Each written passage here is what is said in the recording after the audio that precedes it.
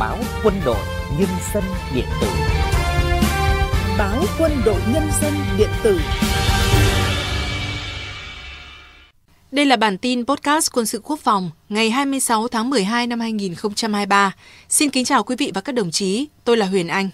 Và tôi là Cao Nguyên. Bản tin của chúng tôi được phát trên website www.qznz.vn và nền tảng Spotify, YouTube của báo Quân đội Nhân dân. Sau đây là những nội dung chính.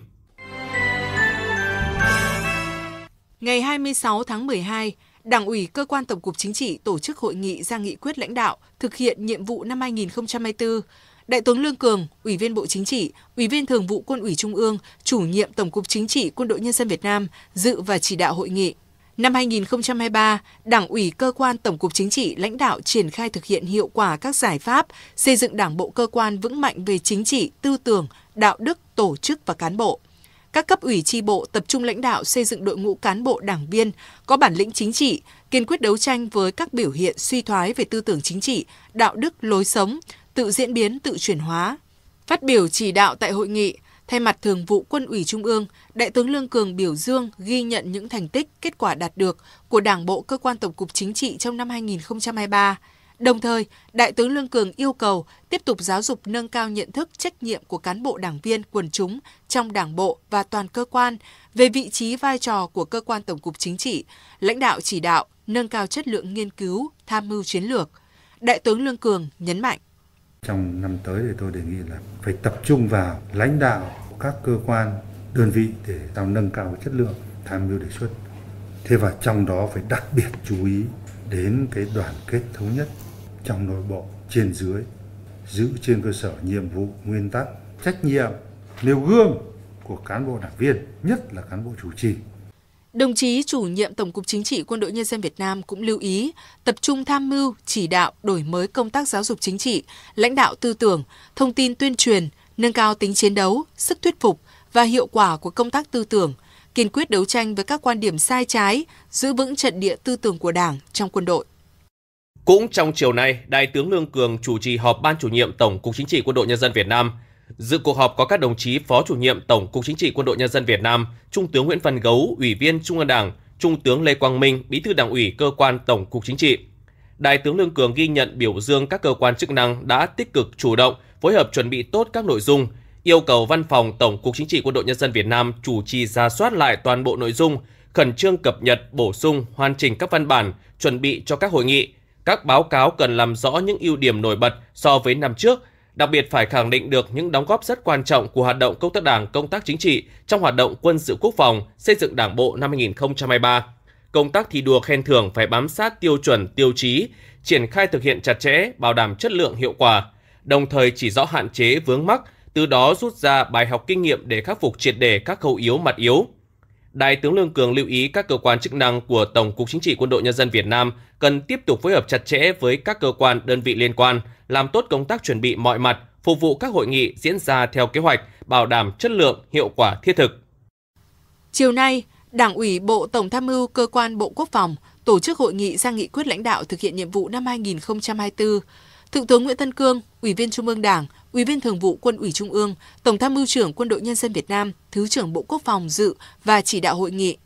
Hội nghị đánh giá năm 2023, Đảng ủy Bộ Tổng tham mưu Cơ quan Bộ Quốc phòng tập trung lãnh đạo hoàn thành toàn diện các chỉ tiêu nhiệm vụ. Nổi bật là tích cực chủ động nghiên cứu, nắm chắc, đánh giá, dự báo đúng tình hình – tham mưu đề xuất với Quân ủy Trung ương, Bộ Quốc phòng, báo cáo Đảng Nhà nước, xử lý chính xác kịp thời các tình huống, xây dựng triển khai thực hiện các nghị quyết, chiến lược, đề án, dự án, luật, văn bản quy phạm pháp luật về quân sự quốc phòng, về phát triển kinh tế xã hội gắn với củng cố, tăng cường quốc phòng an ninh ở các địa bàn trọng điểm. Phát biểu tại hội nghị, Thượng tướng Nguyễn Tân Cương yêu cầu năm tới, Đảng ủy Bộ Tổng tham mưu, Cơ quan Bộ Quốc phòng tiếp tục tham mưu đề xuất với Quân ủy Trung ương Bộ Quốc phòng, Đảng, Nhà nước xử lý đúng đắn, kịp thời, linh hoạt, hiệu quả các tình huống, không để bị động bất ngờ, bảo vệ vững chắc chủ quyền lãnh thổ của Tổ quốc.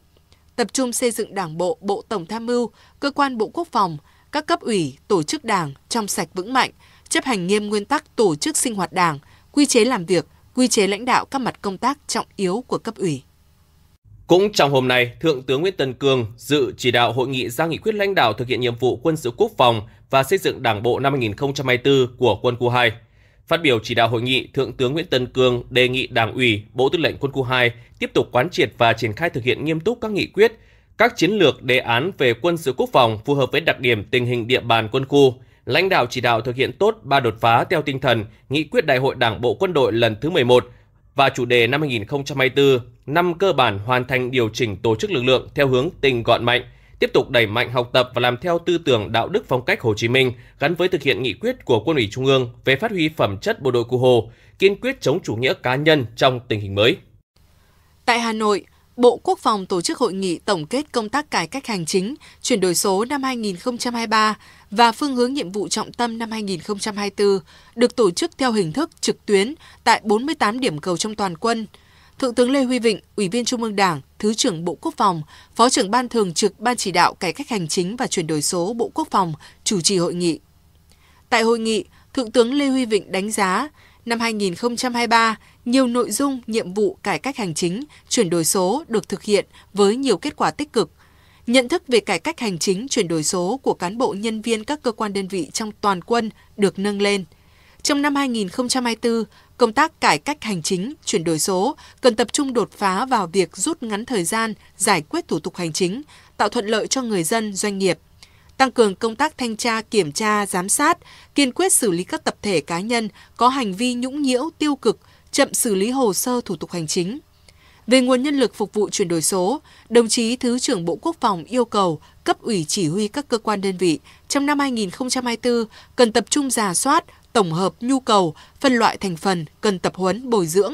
chú trọng nghiên cứu, điều chỉnh, bổ sung chương trình đào tạo các chuyên ngành liên quan đến chuyển đổi số, đáp ứng yêu cầu thực tiễn hiện nay. Cũng trong sáng nay, Đảng ủy Tổng cục Hậu cần họp phiên cuối năm năm 2023, Thượng tướng Vũ Hải Sản, Ủy viên Trung ương Đảng, Thứ trưởng Bộ Quốc phòng dự và chỉ đạo hội nghị.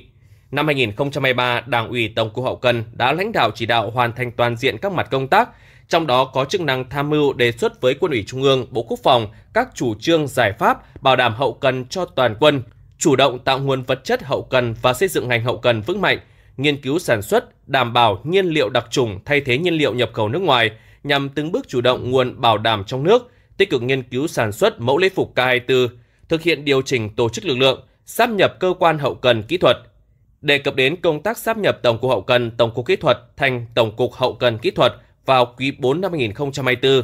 Theo kế hoạch số 1228 của Bộ Quốc phòng, Thượng tướng Vũ Hải Sản lưu ý, Đảng ủy Chỉ huy Tổng cục Hậu cần phải chủ động làm tốt công tác lãnh đạo, triển khai thực hiện ngay từ những ngày đầu tháng đầu của năm 2024. Cùng với đó, tiếp tục củng cố nâng cao hiệu quả hoạt động của phòng, ban hậu cần kỹ thuật các đơn vị, bảo đảm thực hiện có hiệu quả lộ trình xây dựng quân đội tinh gọn mạnh.